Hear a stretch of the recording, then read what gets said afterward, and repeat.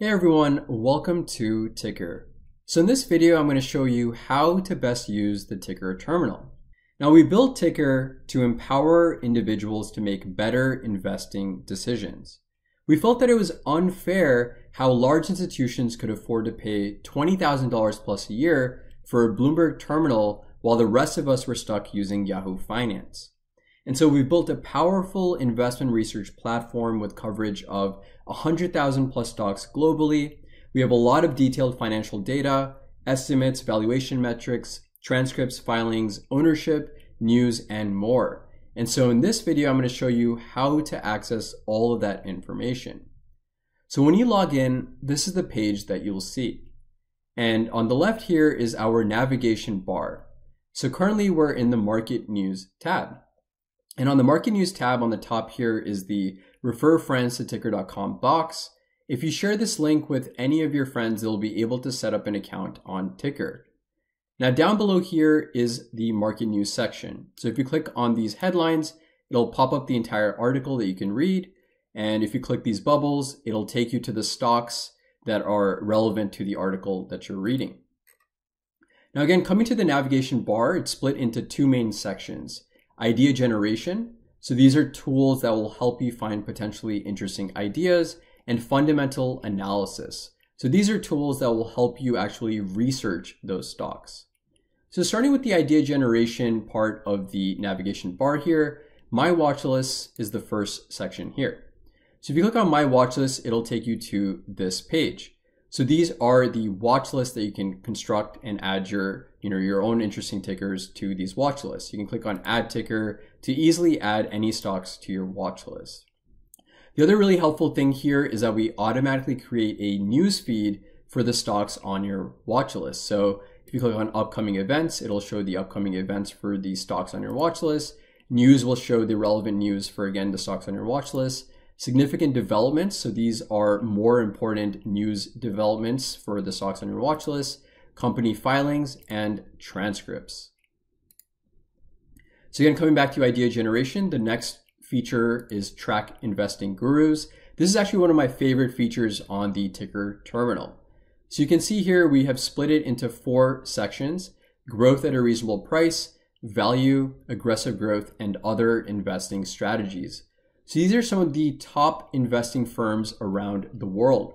If you click on any of these links, it'll actually show you the holdings of these investors. Now, the amazing thing is not only do we track 13F filings, so the holdings that are disclosed in the US, we actually also track international filings, so Japan filings here, shareholder reports, 13Ds, and more. So this is a fairly holistic overview of the actual holdings of these investors. So again, these are the holdings of Berkshire Hathaway. You can potentially find interesting ideas for your own portfolio from some of these top investors. You can also search through here to find other investing gurus beyond just the gurus that we have in these lists here. So again, we have you know just a number of, of investors that you can easily explore here. The next feature is our powerful global screener. So we actually have made a separate video on our global screener. So I would definitely encourage you to check that video out. Um, but again, here is our global screener. So here I've put in a variety of different filters. You can click the plus sign to add, you know, any filters that you want to the screener. We have a ton of different metrics. And once you've done that, you can click fetch screen. So that will then pull up the actual businesses that fit the criteria that you put in. So you can see for this screen, 900 plus companies showed up, you know, below here. So again, another great way to find potentially interesting ideas. And again, this is a global screener, so you can look for international companies as well. So the next one over now is fundamental analysis. So let's go to company overview. So the default company here is Google, but you know you can again use the search bar above to find other interesting stocks that you want to explore and do deeper research on, like Nintendo, for example. But let's just go back to Google here to keep it simple. So this is the company overview page. You know, here we have a stock chart, some helpful metrics, and then a description of the business. The next tab over is news. So again, on the left-hand side, this is more real-time news. On the right hand side is significant development. So these are published less frequently, but they're more important developments for the company. The next tab over is financials. So here you can drag this little dot on the timeline to increase the amount of data in the table below. You can change it to quarterly data, semi-annual, you can change the display units, decimals, so on and so forth. But you can see here we have the income statement, the balance sheet, cash flow statement, and ratio. So just a ton of data. And the other really helpful thing here is if you click on any of the rows in the uh, table, it'll automatically create this beautiful chart. So you can easily visualize any of the data. Another helpful thing here is to collapse the left navigation bar to more easily view the data on your screen. So again, moving over to the balance sheet, cash flow statement, and ratios. We have a bunch of different ratios that you can explore as well. So the next tab over is valuation. So here we have a bunch of forward multiples, trailing multiples, and a number of other kind of factors that you can explore as well.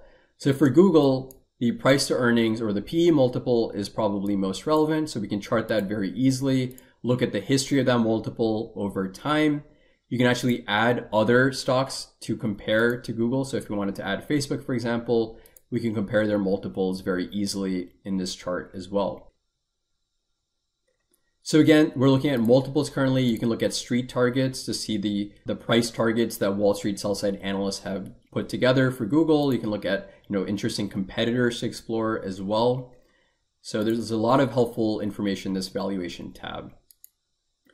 The next tab now is estimates. So this is data that we've compiled from Wall Street sell-side analysts. And so we have the historical data. This is a uh, actual reported data, and then we have the estimates. So this is the forward kind of forecasted data that these Wall Street sell-side analysts have put together. And again, you know, you can chart any of this data very easily by just clicking on the rows in the table below. Next, we have transcripts. So we have the earnings transcripts as well as the conference transcripts. So if you just click on this link here, it'll pull in the transcript and you can read, you know, the entire transcript for the discussion that took place on that specific date. Then we have company filings. So we have just all of the SEC filings here. We have the investor presentations as well. Um, actually, on filings, the other helpful thing here again is we actually have global filings. So, for example, if we looked at Nintendo, we actually have all the Japanese and English filings that Nintendo puts out. So, just another very powerful tool on the TIKR terminal. Moving over to the final tab, the ownership tab here.